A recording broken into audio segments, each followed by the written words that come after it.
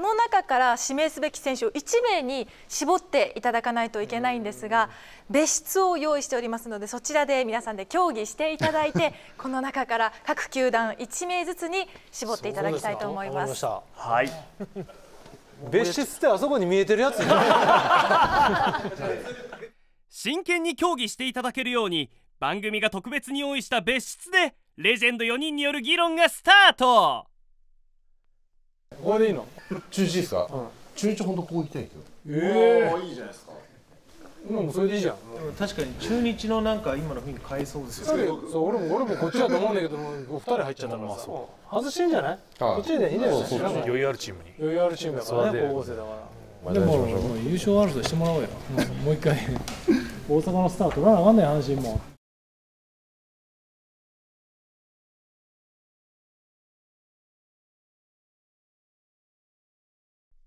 よっしゃ。終わりましたよ。せっかく綺麗な佐々木に帰第4回プロ野球仮想ドラフト会議。競技が終わりました。それでは代表して、はい、古田さん、話し合った結果を反映よろしくお願いいたします、はい、よろしくお願いします。はい。そうですね。あのー、まずは阪神から。阪神も地元の下村君を僕は行くべきではないかという話はさせていただいたんですけどもどうもその意見は通らず。ダメだったんですね。ダメでした。やっぱ阪神はちょっと余裕があるんで、はい、実は前田悠吾に行くんじゃないかと。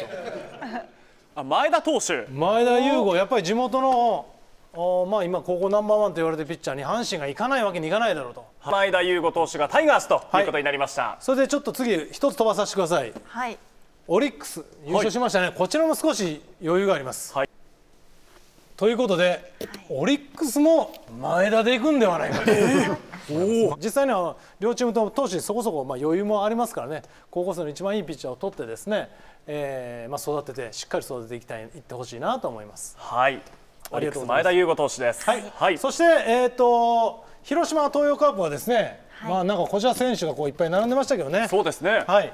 えっ、ー、といろんな意見がありましたけど、やっぱり五十嵐が言った小じゃじゃけ広島もともとね結構ね一本釣りって言いますか、あのすごい人気選手よりも本当にあの森下投手もそうだったですけど、あのいいと思えるピッチャー行くんで、まあ彼のピッチング見てたらね行くんじゃないかありえるなと思っております。広島は小じ投手です。えー、千葉ロッテですけどね。やっぱり佐々木麟太郎、はい、やっぱりあの長打の打てるバッター星ですからねあそこもね。あのほんではさダブル佐々木で売り出すことも可能だし、はい、あの非常にチャンスがあっていいんじゃないかなと思ってます。はい、いいねいいねはい、これも全然あり得ると思いますね。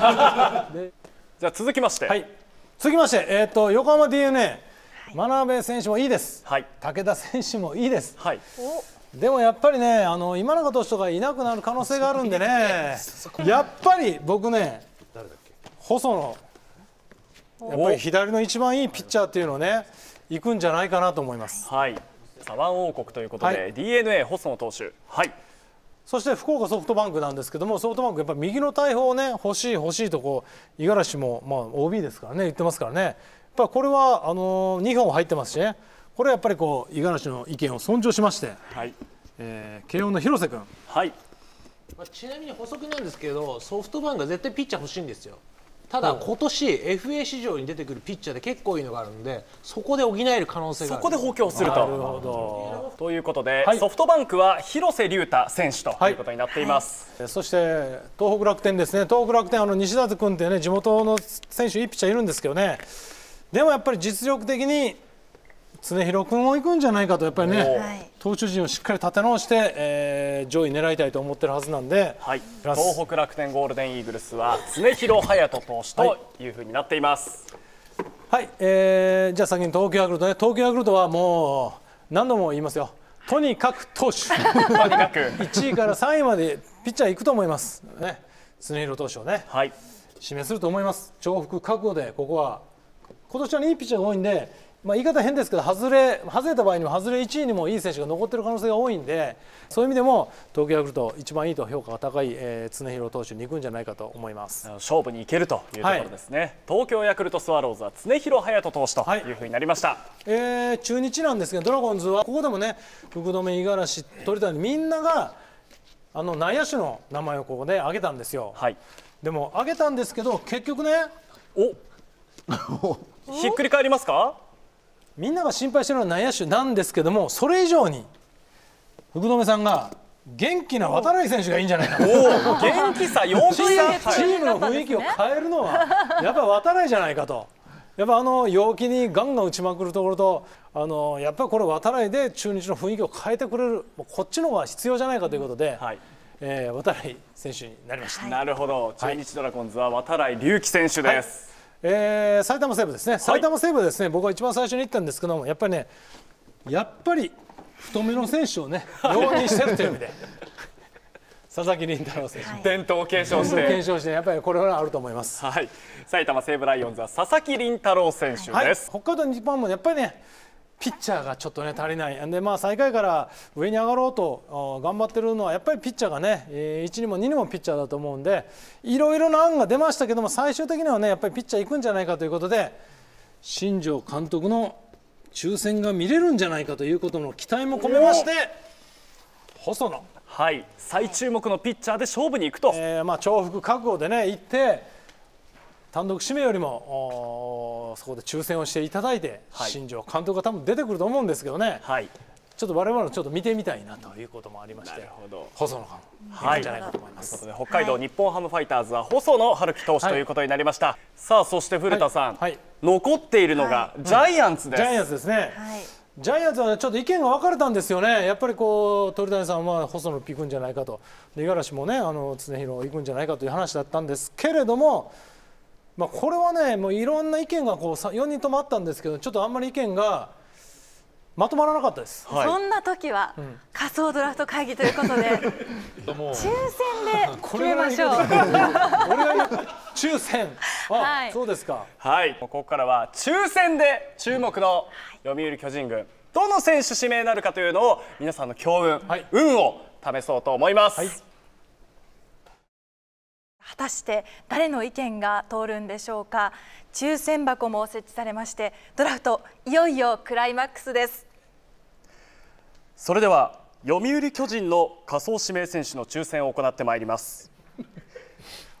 最初に古田敦也さん前にお進みください。あの僕2回ほどやったことあるんですけどまずみんなにコツを教えます、はい中を見てください。見ていいんです、見ていいんです。見ていいんです。で、こうなんかちょっとばらけたり、もしかしたら印がついてるやつがあるとかっていう昔は噂があったんで、そういうのがないのしっかり確認した方がいいです。俺聞いたことあるわそれ。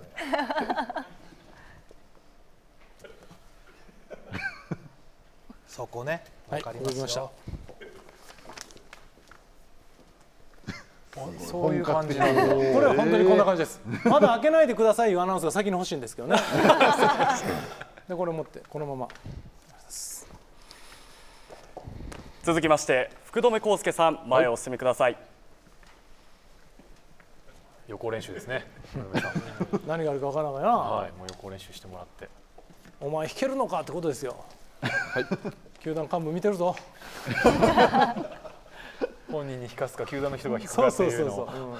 ここで言いたらあいつこれ実績だから、めちゃくちゃやわ。あいつあいつ苦渋強い続きまして五十嵐亮太さん前へお進みください。こうなるとねもう2分の1ですからもう見てもどうもって感じですよね。2分の1を引けるかどうかだよ。まあそうですね。じゃあこっちでお願いします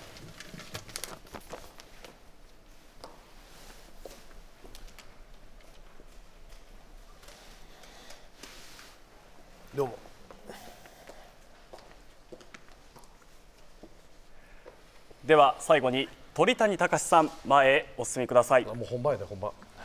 大丈夫。もう大丈夫あなんか何も関係ないのに緊張感ありますね。ほんまにピリピリしてるよ。してますよねお客さん入ってる人は。あ頑張れとか声かかりますもんね。そうなんですよ。頑張りようない。それでは4名の皆さんが抽選券を取りました。では一斉にお分けください。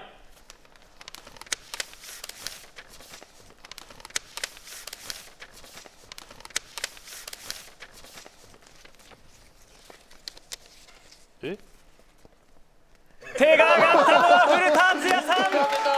仮想指名権獲得です。ということで古田さんの渡来隆輝選手読売巨人決定ですこれやっぱりね、あのー、ネットの皆さんもすごく分かっていただけるんで古田すげえって今ざわついてると思います。第4回プロ野球仮想ドラフト会議。12球団の指名が出揃いました。まずは高校生前田悠吾投手は阪神とオリックスの2球団。佐々木麟太郎選手も千葉ロッテと埼玉西武の2球団からの指名を予想。大学生では細野晴希投手は横浜 d n a と北海道日本ハムの2球団。常広隼人投手も東京ヤクルトと東北楽天の2球団からの指名を予想。古謝辰樹投手は広島。広瀬龍太選手は福岡ソフトバンクからの指名となりました。社会人渡来隆輝選手は巨人と中日の2球団からの指名を予想。